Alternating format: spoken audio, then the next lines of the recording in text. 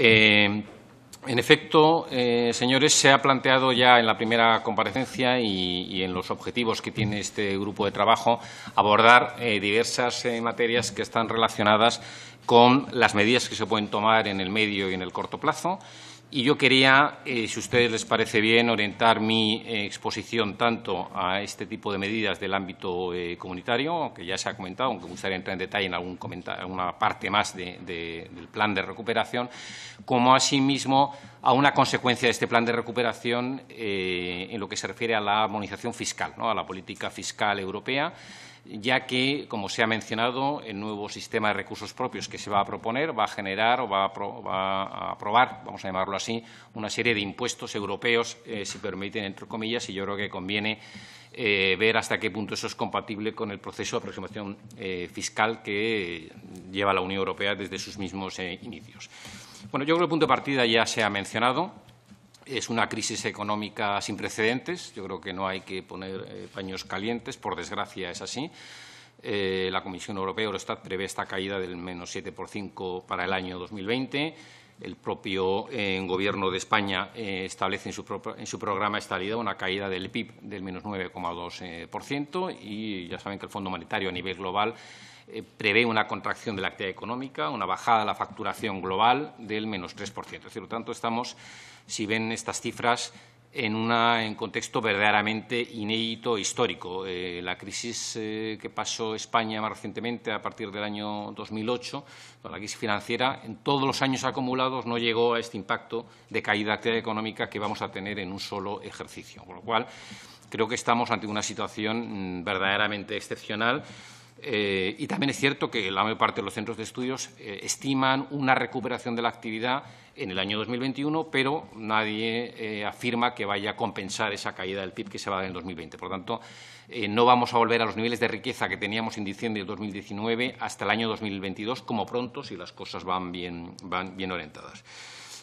Otra característica que se ha dado ya, si nos centramos en el ámbito europeo, la capacidad de reacción de los, diferentes países, de los diferentes Estados miembros, no ha sido la misma porque la posición de partida presupuestaria, vamos a decirlo así, no era exactamente la misma. Como saben, la Comisión Europea aprobó un marco temporal de ayudas de Estado, su propia denominación indica, es solo temporal para la gestión de la crisis del coronavirus, que permite a los Estados eh, dar ayudas que normalmente con el derecho de competencia de la Unión Europea no sería posible. Pues bien, en estas cantidades, eh, si ven ustedes simplemente lo que la propia, la propia comisaria de competencia, la señora Vestager, está dando, el programa de ayudas que están concedidas, que son prácticamente hasta 100 decisiones eh, diversas, que son de todo tipo, aplazamientos de impuestos, líneas de financiación, subsidios, etcétera, el 50% lo ha concedido Alemania el 17% lo ha concedido Italia, Francia el 13% y España está en un reducido 2,2% del conjunto de las ayudas de Estado que se han dado a nivel comunitario. Eso quiere decir que, evidentemente, hay Estados con mayor capacidad que otros para abordar este proceso de ayudas estatales. En buena medida, y ya se ha comentado por la compareciente anterior, el programa de recuperación pretende mm, dar satisfacción o dar respuesta a esa situación, para que no se quede ningún Estado miembro eh, digamos, de lado por su escasa capacidad presupuestaria, el programa de recuperación intenta complementar esa situación con cargo a ese, objetivo. Es cierto que en el marco de ellos de Estado, eh, al que me he referido antes, con esa, digamos, casi dos billones de euros que se han ido autorizando hasta el momento, lo que ha hecho la Comisión ha sido, como bien saben ustedes, eh, flexibilizar o aplicar la cláusula llamada de escape o de salvaguardia del Pacto de Estabilidad y Crecimiento, que es un pacto que nos dimos en el año 2005, para proteger el euro, no eh, por molestar a nadie ni nada parecido, sino para proteger la moneda eh, única. Eh, ese, pacto de estabilidad, como saben ustedes, tiene una serie de, compromisos de estabilidad presupuestaria que se han exceptuado para este, de momento, hasta que la, el Consejo vuelva a resucitarlo, se han exceptuado de momento como consecuencia de la, de la crisis. ¿no? Por tanto, los Estados miembros pueden desviarse de esos, eh, objetivos eh, presupuestarios que les, marca el Pacto de Estabilidad. Pero también es cierto, y yo creo que no conviene eh, engañarse, es decir, el Pacto de Estabilidad volverá eh, porque es una parte consustancial eh, a la, digamos, al marco del euro, al proyecto del euro. Por tanto, una cosa es que temporalmente no se apliquen esas reglas de estabilidad presupuestaria, pero yo creo que hay que tener claro que en el, medio plazo el, pacto de estabilidad y crecimiento volverá eh, a ser aplicado y, por tanto, tenemos que tener claro eh, sobre todo Estados miembros con un nivel de endeudamiento público importante, que eso es un horizonte que se plantea en el, en el medio plazo por cómo son las reglas de, la Unión Europea, salvo que las cambiemos, pero a día de hoy no parece, eh, digamos, que haya eh, una, digamos, un espíritu, un ambiente político para cambiar los objetivos, lo que hay dentro del Pacto de Estabilidad y Crecimiento. Como les decía, yo creo, ya se ha contado por la comparecencia anterior, tenemos una herramienta que ciertamente es inédita en la historia del proyecto europeo, como ha sido el Next Generation European Union, la, Unión Europea de la próxima generación, y como se ha comentado, es un complemento respecto del, eh, del, marco financiero plurianual. Ya saben ustedes que la Unión Europea presupuesta de siete en siete años, el siguiente marco financiero va del 2021 al 2027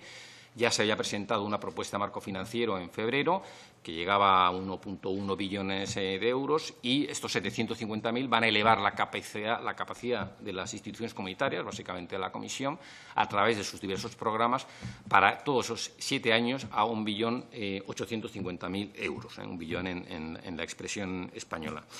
Eh, esto eh,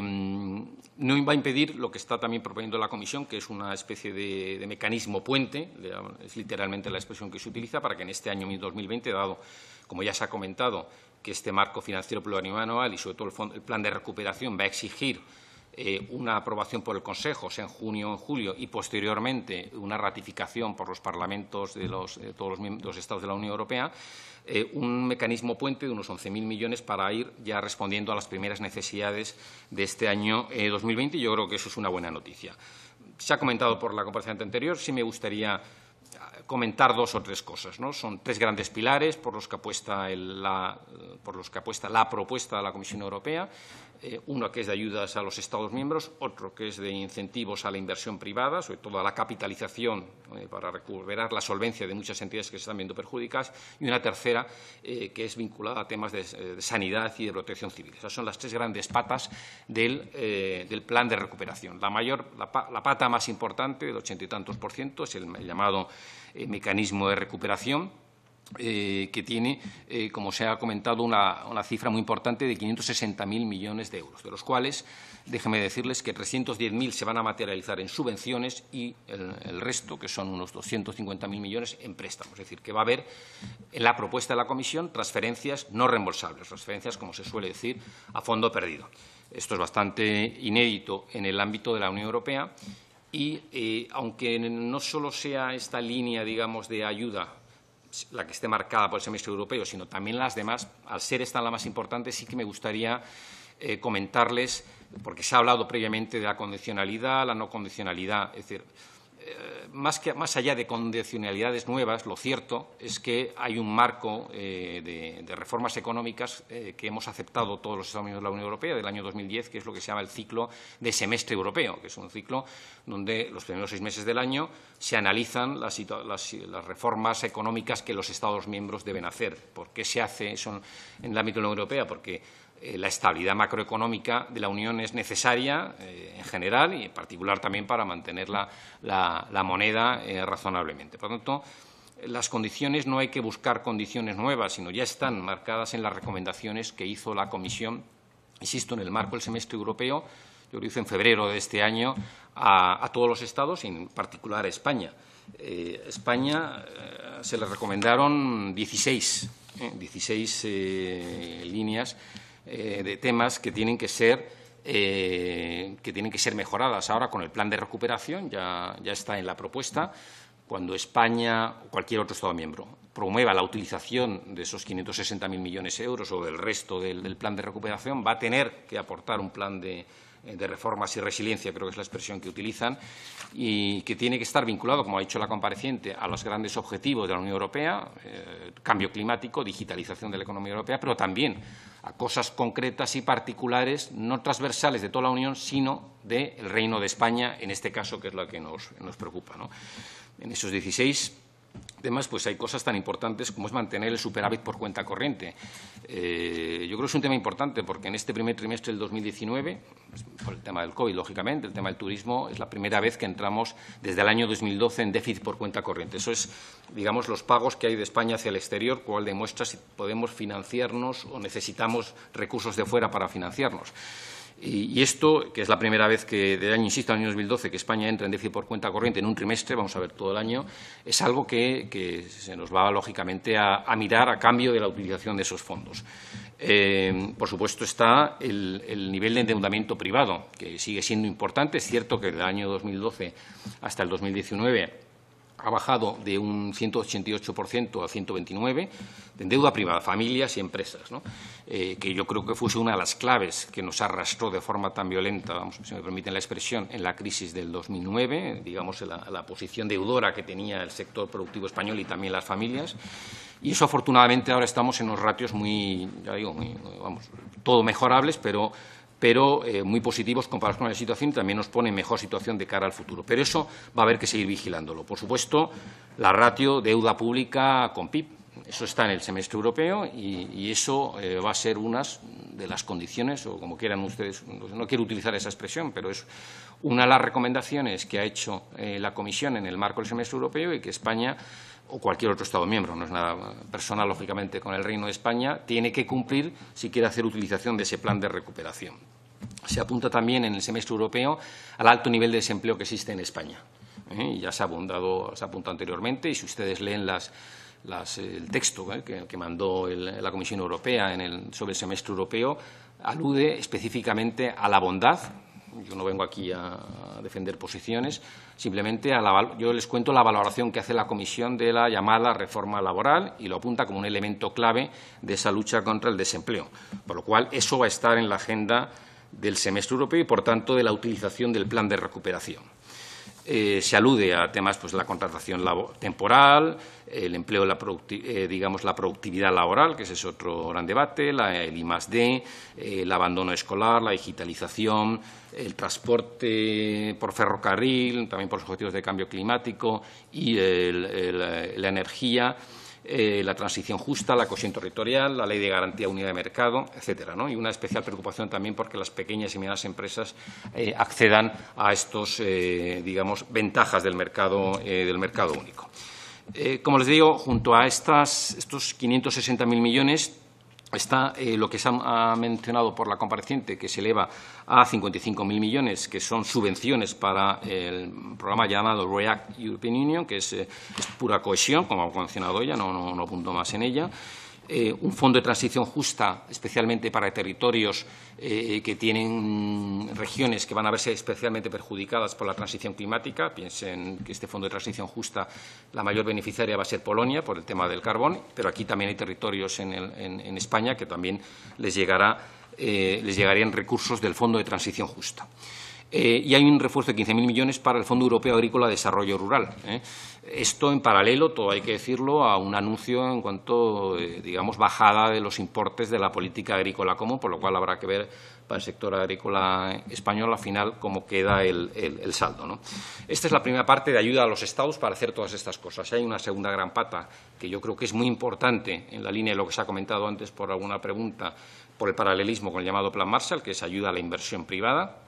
Son dos instrumentos, eh, uno de 15.000 millones y otro de 31.000 millones. Yo destacaría el, llamado eh, instrumento de apoyo a la solvencia, es decir, se ha detectado que como consecuencia de las pérdidas que va a generar el COVID,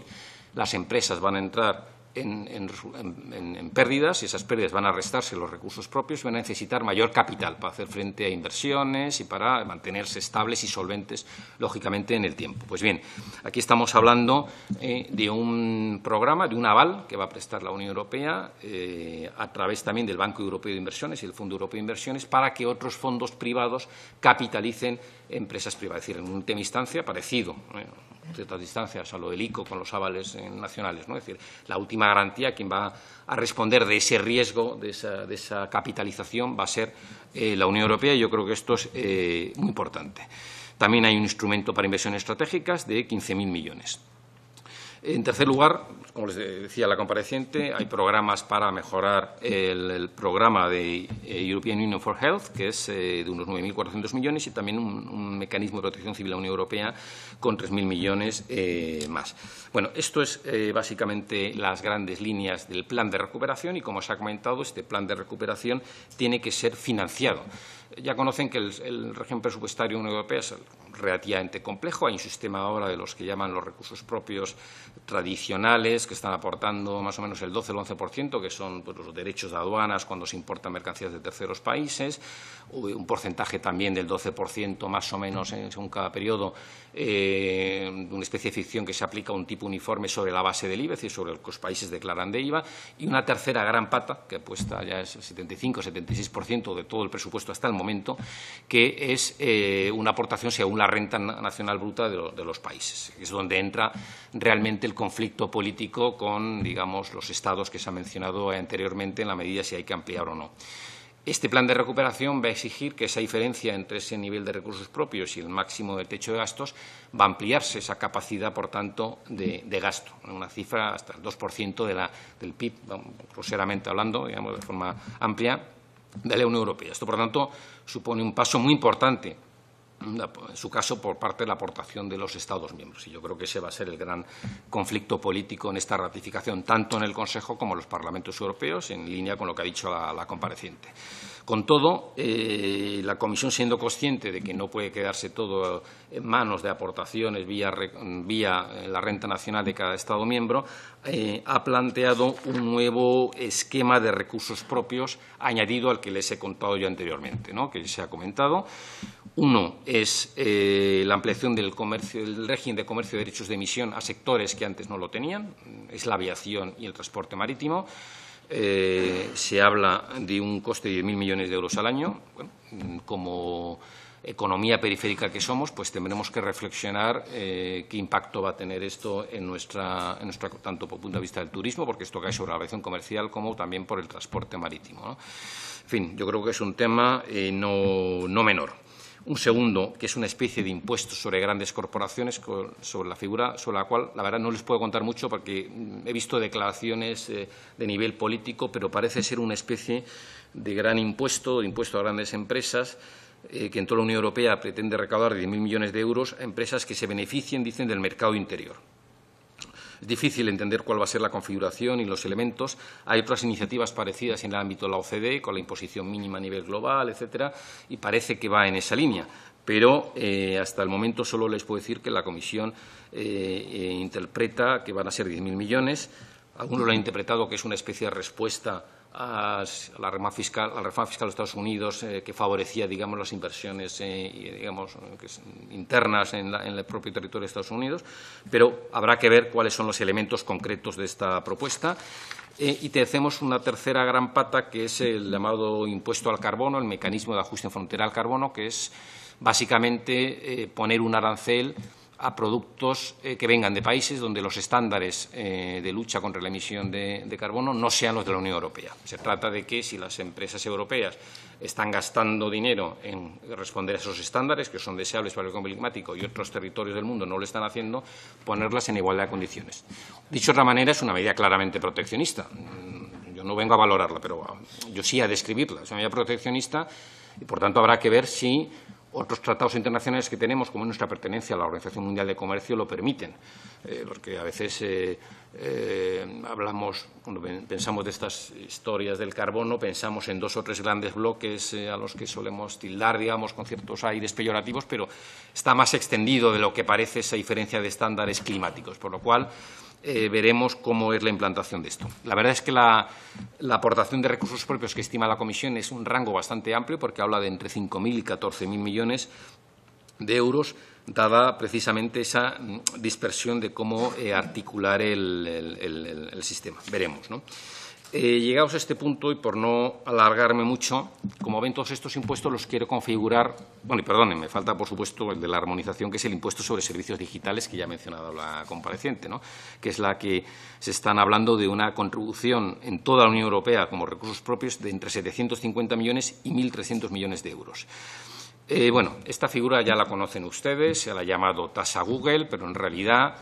es un impuesto indirecto. Es decir, es un impuesto que, por mucho que el sujeto pasivo, es decir, quien va a hacer la declaración y teóricamente va a pagar el impuesto, es la que presta el servicio, igual que ocurre con el IVA, eh, a mí no me cabe ninguna duda de que la parte económica de ese impuesto va a ser repercutida a los consumidores como no puede ser de otra manera. Se refiere a tres grandes negocios, o sea, lo que es la publicidad en, digamos, estas plataformas, eh, lo que es la intermediación y también transmisión de datos. Mm, estos son los, los, negocios a los que ahora se está concentrando la propuesta de la Comisión, que, como saben, es paralela a un ejercicio similar que se está haciendo en el nivel de la OCDE, digamos, con más, volumen de economías en vías de desarrollo, como pueden estar Estados Unidos, eh, Australia, Nueva Zelanda, etcétera. Es más amplia. La Comisión Europea ya anunció antes del plan de recuperación que si la OCDE no llegaba a un acuerdo, mm, avanzaría eh, por sí misma con una, propuesta del impuesto sobre servicios digitales y, eh, en paralelo, como bien saben ustedes en esta Cámara, ha habido algunos Estados miembros que han optado por eh, promover legislaciones unilaterales en lo que se refiere a este impuesto sobre servicios digitales. Em, entonces, como ven, todas estas figuras ya están empezando a, me parece a mí, eh, a entrar en conflicto o dejarse flecos en común con lo que es la armonización fiscal. Si me permite, presidente, dos palabras o dos ideas sobre la armonización fiscal en el ámbito de la Unión Europea, eh, sobre la cual a veces eh, hay malos entendidos. ¿no? Es decir, la Unión Europea como tal eh, no es un Estado miembro, no tiene, o sea, tiene, a día de hoy es una organización eh, muy exitosa de la que podemos estar todos muy satisfechos, pero no es un Estado soberano, no tiene las mismas necesidades de gasto y lo que se ha planteado en el ámbito de, la fiscal, de los impuestos europeos no es eh, replicar un modelo de impuestos nacionales, sino que se ha planteado es armonizar, es decir, aproximar las leyes de los impuestos para que los impuestos no generen distorsiones, no pongan obstáculos a, eh, digamos, las operaciones transfronterizas, para que el mercado interior no se reduzca como consecuencia de que hay normas fiscales distintas en unos Estados miembros, lo cual tiene toda la lógica del mundo. Por esa razón, desde los primeros momentos del, proyecto europeo de la integración económica, la armonización se centró en la imposición indirecta. como ustedes saben, tanto el impuesto sobre el valor añadido, la imposición general, como los impuestos sobre consumos específicos, eh, tienen una normativa comunitaria que eh, que se materializa en última instancia con una directiva que los Estados tienen que transponer y que incluyen los elementos básicos de la estructura del impuesto, para que todos estemos en las mismas condiciones a la hora de realizar operaciones, de hacer, actividad económica. Eh, se entiende que la imposición indirecta, yo creo que con bastante sentido común, es la que más impacta en, en ese, mercado, ese mercado interior o más podría llegar a impactar. Otra cosa es que incluso así eh, se deje bastante cierto grado de libertad a los Estados miembros para poner tipos impositivos, incluso en el ámbito de la imposición indirecta. En el campo, el campo de la imposición directa, impuestos sobre la renta personal físicas, nada prácticamente, en el campo de impuestos sobre sociedades, eh, el enfoque no es el de esta armonización activa, sino simplemente eh, de ir, digamos, centrándose en elementos muy puntuales, muy concretos, que están generando barreras y obstáculos precisamente a ese eh, mercado interior. Es decir, no aspiran a crear, todo, de momento, ahora les comentaré, a, un impuesto, o esa ha sido la, digamos, la, opinión tradicional en el ámbito europeo.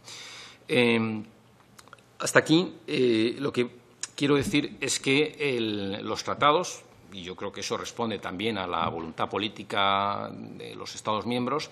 reconocen que la soberanía fiscal es, una, es parte de la soberanía de, de, los de las naciones, de los reinos, de los Estados miembros en este, en este caso. Eh, y que solo la parte eh, comunitaria tiene sentido para eliminar esos, eh, esos obstáculos, esas distorsiones. Por tanto, los Estados miembros, en principio,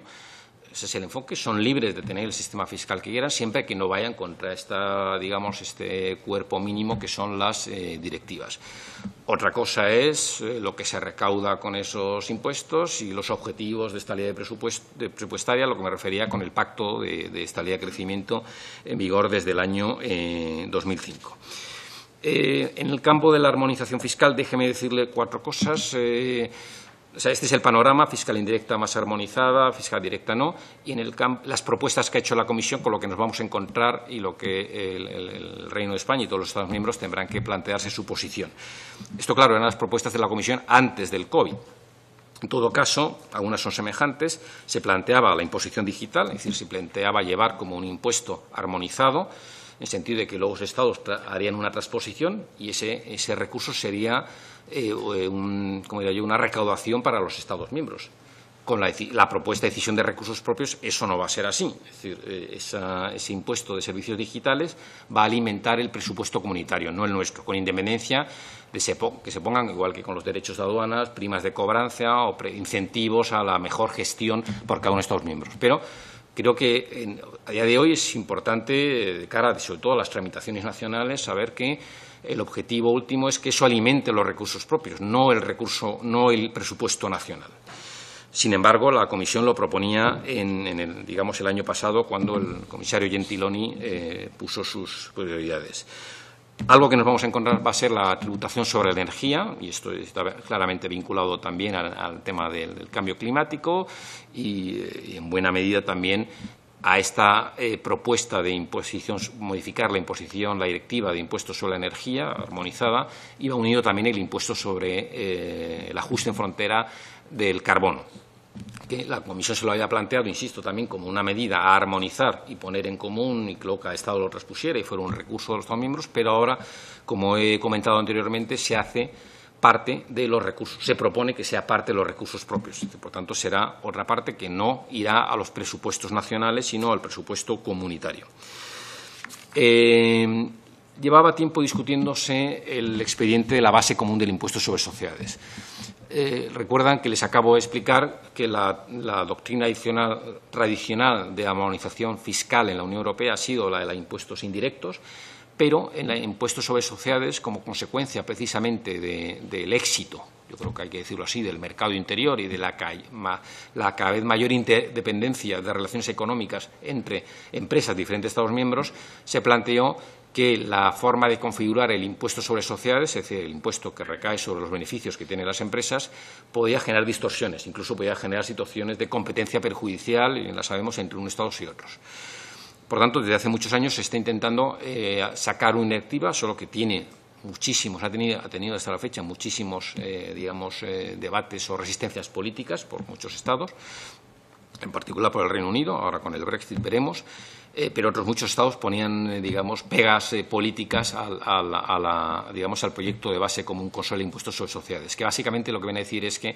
la base del impuesto se tiene que hacer con la misma regla, es decir, si los ingresos tienen que ser los mismos que vayan, son los que van a pagar impuestos en, en Finlandia o en España, los gastos deducibles serán los mismos, los beneficios fiscales serían los mismos, etcétera, etcétera. Por lo tanto, supone un gran paso en lo que es la imposición indirecta digamos, del entorno de la Unión Europea. Y por ello es evidente la resistencia política que existe y que yo creo que va a seguir existiendo. Eh, otra cuestión, otras cosas que ha propuesto la Comisión es mejorar la cooperación entre las autoridades nacionales del IVA. Bueno, esto es para evitar el tema del fraude carrusel, que habrán oído hablar, etcétera.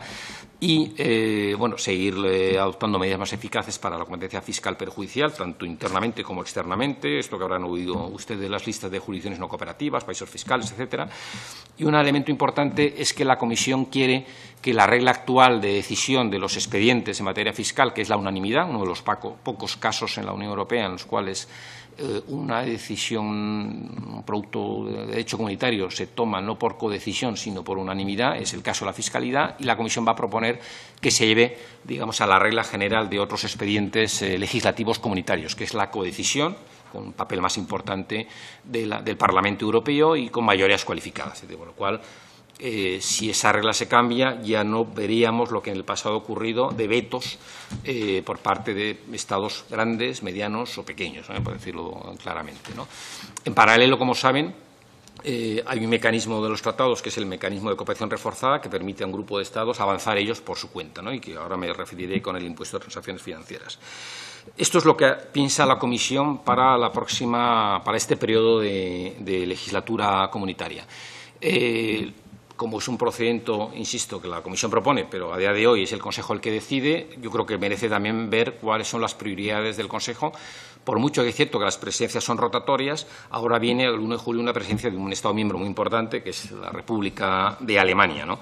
Y en esto ha sido la propia canciller Merkel la que ha opinado sobre expedientes de fiscalidad a nivel europeo, lo cual demuestra la importancia que le, da, eh, le va a dar la presidencia a eh, la fiscalidad. Insisto, eh, con la salvedad de que estamos en paralelo a toda esta gestión del plan de recuperación y yo temo intuyo que todos los proyectos de armonización fiscal van a quedar un poco apartados hasta que, porque lógicamente la prioridad ahora es el plan de recuperación.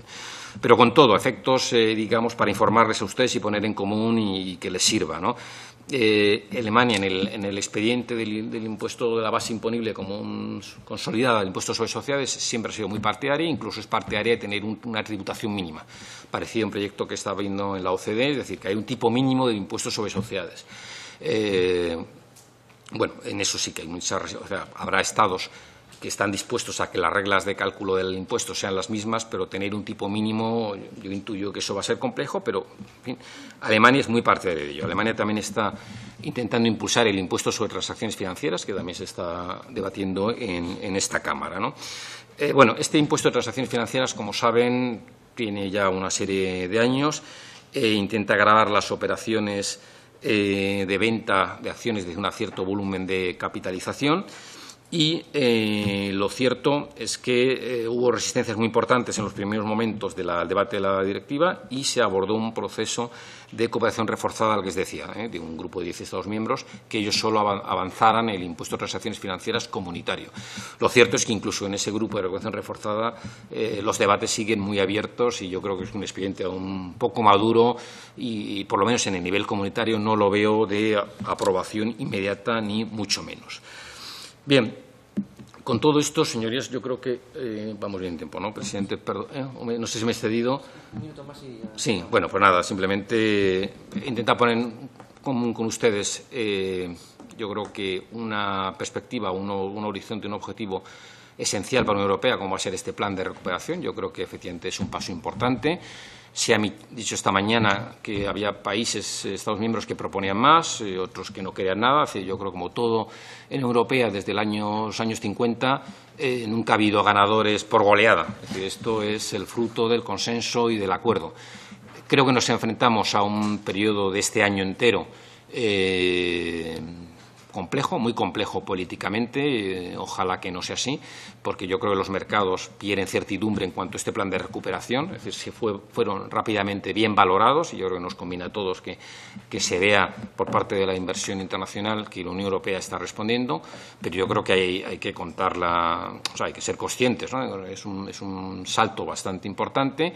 eh, y hay estados que efectivamente, eh, sea por el mecanismo del cheque de la evolución de la, de la, contribución o por otro, tendrán que encontrar una satisfacción. ¿no? Eh, los, porque una, yo estoy de acuerdo con la compareciente en el que en el Consejo de junio o de julio veremos eh, anticipadamente eh, cuáles deberían ser las posiciones de los parlamentos, pero eh, yo no descartaría, porque esa es la historia de la Unión Europea,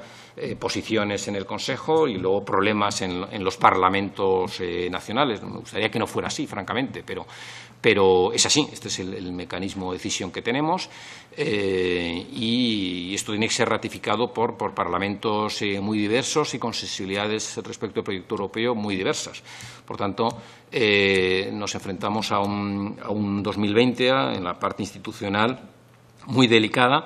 pero que yo quiero creer que, como se ha dicho, eh, la opinión pública, los propios partidos de esos parlamentos nacionales verán eh, que una parte de la Unión Europea no puede avanzar si la otra parte no avanza. Yo creo que esto es un proyecto común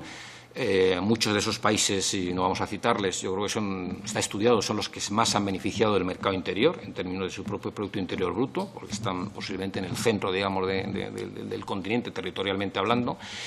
Y yo creo que es lógico que entiendan que, en particular, las economías periféricas, como es la italiana y la española, necesitan de este refuerzo. Nada más quiero agradecerle su, interés. Me pongo a su disposición para comentarios, presidente, y nada más.